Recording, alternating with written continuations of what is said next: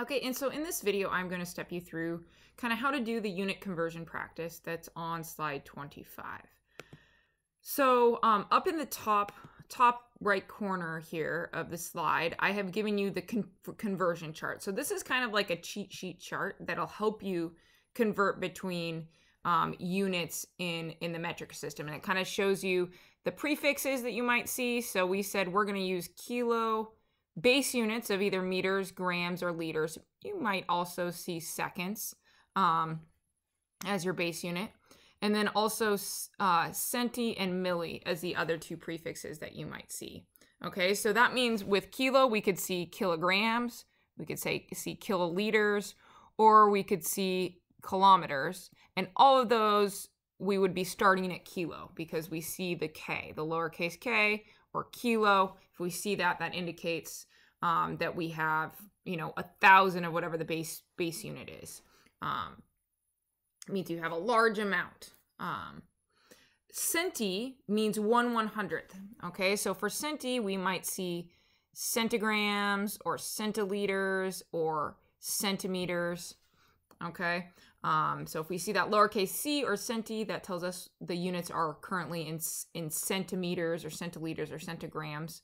Um, and then milli, um, you might see milligrams, milliliters, millimeters, or even milliseconds. Seconds, we really don't see anything except for milliseconds in the base unit of seconds. So that's why I didn't actually type on the on the chart. Seconds isn't on there. Um, but milli means one one thousandth. Okay, so this this chart is going to help you. Um, well, hopefully, it will help you um, learn how to convert between units. Okay, because these are all related by like factors of ten. If you start in one spot, like let's say we were in kilograms, okay, and we wanted to convert into grams, which is a base unit. Okay, you are one, two, three steps away. Okay, so let's say we had um, 0.200 kilograms and we wanted to convert that into grams. Okay, how many grams does that equal? Well, since we started here at the top step and we moved down three steps, this tells us every time we go down a step, you need to multiply by 10 okay? And multiplying by 10 is just moving that decimal point to the right to make the number bigger. So I'm going to move my decimal place to the right three times, one, two, three. That has that has multiplied this number by 10 three times or multiplied by a thousand. So I get 200 grams is my answer. My decimal place has moved three spots to the right. My number is three factors of 10 greater than it was before. Okay, so 200 grams or 200 grams is equivalent, is equal to 0.2 kilograms. They're the same amount. We're just using a different form of the of the metric units um, to to report our amount. Okay, so that's an example moving down the chart. Let's take a look at an example where maybe we're starting down here in centi. Okay, and I'm gonna actually erase this one so we can take a look um, at this next example. So let's say we started in centi and we had, um, let's say 45 or 450 um, centiliters, CL. Okay, so you'll notice doesn't matter what this second no, second letter is in my units as long as it's a it's a metric base unit.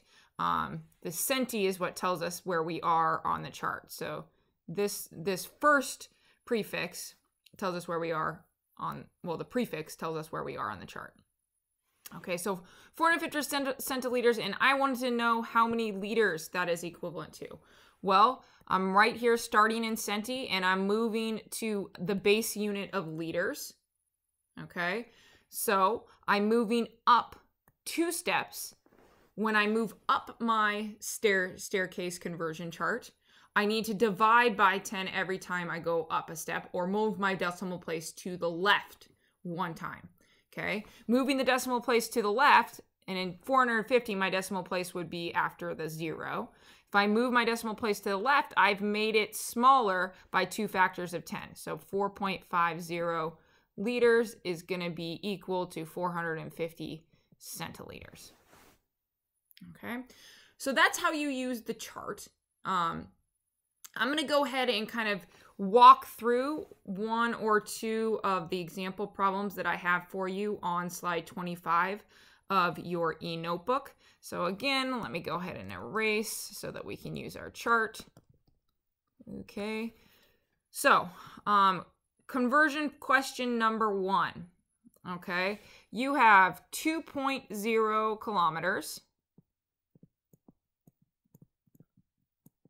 Okay. And you're supposed to figure out how many meters that equals, how many centimeters that equals,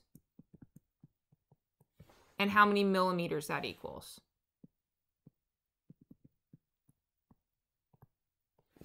Okay. So let's start at kilo. So I remember I know that km tells me that I'm at kilo. So the lowercase k stands for kilo. So I'm going to start here at kilo. The first thing I want to convert to is meters. Meters is here as a base unit. Meters does not have a prefix. Okay, there's only one, one letter for the unit there. So I know I'm going to the base unit of meters. Okay, and that takes me one, two, three steps down. When I go down, I multiply by 10 the number of steps that I'm moving. So I've moved three steps down, and then so I multiply by 10 three times, which moves my decimal place um, to the right to make my number bigger. Okay, so if I move my decimal place from 2.0, I move it one, two, three. Well, here I have to have some filler zeros okay, to um, move that decimal place. My number is getting bigger. Remember when, like if I multiply uh, 2 by 10, I get 20. If I multiply 20 by 10, I get 200. So when you multiply by 10, you add you add zeros um, if there weren't any zeros there and you're trying to move the decimal place to the right. So that's 2,000 meters. Okay, cool. So I'm now in 2,000 meters. Okay. And now I got to convert 2,000 meters, okay, 2,000 meters into centimeters. Well, one, two. I'm moving down again, and I'm moving two steps down. So I got to move my decimal place. That now is right here. I got to move it two more spots over to the right. So I got to fill in two more zeros. So I got one, two, three, four, five zeros now. Okay, and I can add my um, comma there. It's 200,000. Okay, so I'm in 200,000 centimeters. Cool. I'm not quite done with the problem, right? Because it asks me um, to then convert into um, millimeters. Okay, so let me change my color here so I have one more color. So we are here in centi, we got 200,000 centimeters and we want to convert into millimeters. Well, yet again, okay, we're going to move my decimal place to the right. Okay, so I write down 200,000. My decimal place was right here. So I got to move it one more spot over. So I add another zero and I end up with 2 million millimeters. Okay. So that is an example. Um, that's actually question one on your um, on your slide 25 in your e-notebook. Okay, and hopefully that kind of helps you see how to use this conversion chart. Um, you have question two and question three to practice with. Question four is a little bit different um, because you're in minutes and needing to get to hours and seconds. So I'm actually going to also go over question number four. And for most of that problem, we actually don't even need to use our conversion chart because we're we have to use what we know about time. And time is a little bit different. We don't always it's not base 10 necessarily for the conversions because there's 60 minutes in an hour um, and 60 seconds in a minute. So we are in the, looking at question number four now. So 36 minutes, and I'm trying trying to figure out how many hours that equals. Okay. So I know I'm starting with 36 minutes. Okay. I know a special relationship between minutes and hours. I know that there is 60 minutes in one hour. Okay. So when I'm converting from minutes to hours, I can use this relationship here that I know. Okay. And I'm going to set up kind of a multiplication here. Um, so I want to cancel my units of minutes. So if I put 60 minutes and one hour on the top, this is just a special form of one because one hour is equal to 60 minutes. Okay, so this is just a special form of one. So when I multiply anything by one, I'm left with the same amount of stuff that I started with.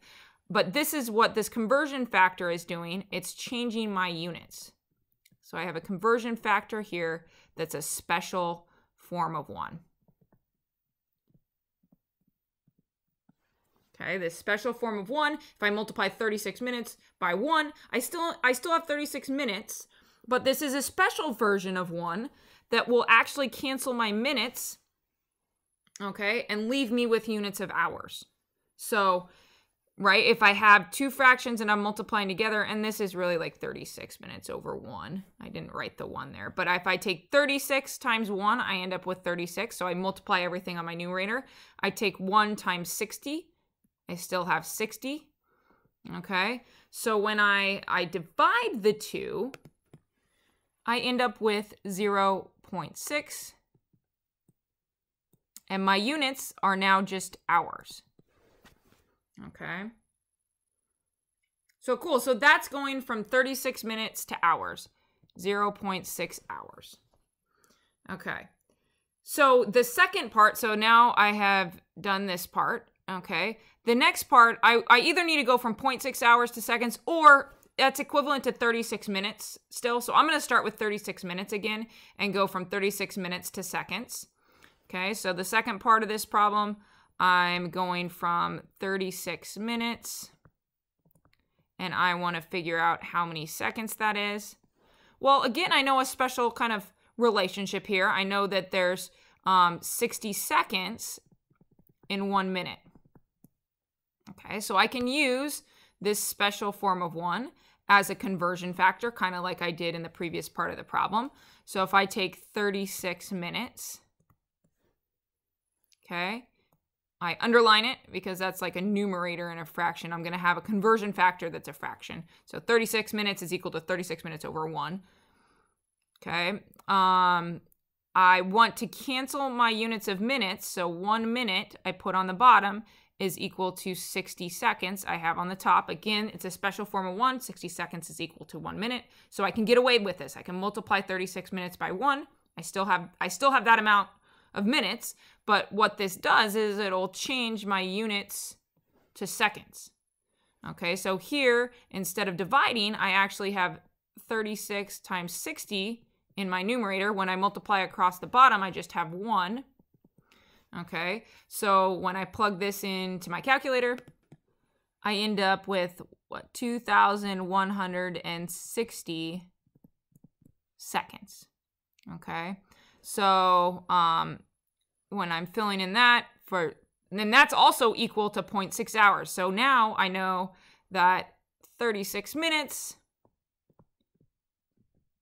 is equal to 0.6 hours. Oops, I don't know. That's a weird, I don't know why I did that. I put my line and I was going to write my 0.6 on it, but so 0.6 hours, which is equal to 2,160 seconds. Okay, and the final thing that you need to do is you need to convert seconds to milliseconds. The M means milliseconds. Okay, so that means you're going to be in seconds in a base unit and you have to convert it into milliseconds. I already gave you some examples of how to use your conversion chart, so I'll leave that last part of the um, of question number four for you for you to do. So um, hopefully that was helpful. This last part, um, numbers six through nine, um, you guys can use a measuring device that you have at home. You can use the internet to, to help you answer those questions. Um, I just want you to kind of get a feel for the size of um, of these metric metric units. Okay, so yeah, I hope that was helpful. Make sure you get one through four and six through nine done on slide 25.